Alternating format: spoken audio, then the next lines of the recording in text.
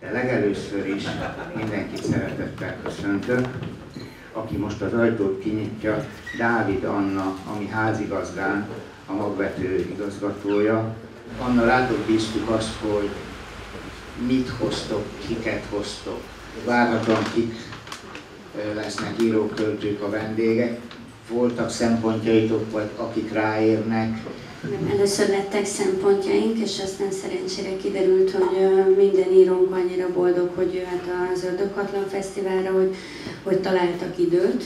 És az volt a szempontunk, ami kérés volt, hogy egy igazi sztárt vigyünk, Nádasdi Ádám. Köszönöm szépen, én nagyon örülök, hogy a díszvendégnek a vendége lehetek. Én nyomulnék, hogy az új verses kötetemről beszélhessek, melyet maga fog kiadni, kedves Anna.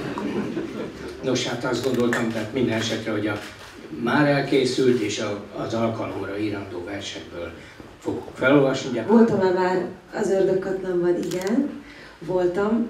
Először évekkel ezelőtt voltam, amikor az első lemezemmel koncerteztünk, és akkor nagyon siettünk sajnos, tehát egy, egy decibort meg tudtunk inni koncert után, de, de aztán sajnos vissza kellett mennünk, pedig nagyon jó hangulat volt.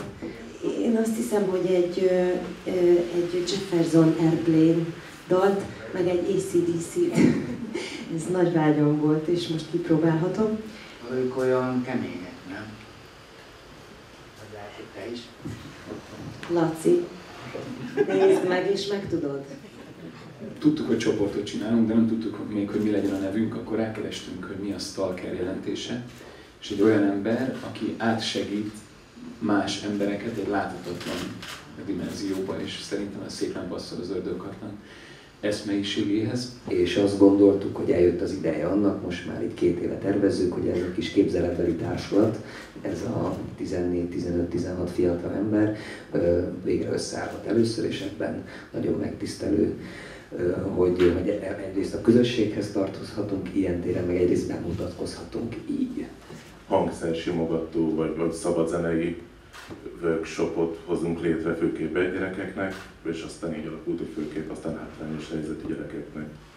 És végül ez egészen leszűkült mostanában a Várkony csüvészekre. Hangonyban, Óz mellett lesz most már egy stúdiónk, ahol, ahol közösségi zenei workshopokat, meg, meg tanulószobát, meg egyéb izgalmakat fogunk létrehozni.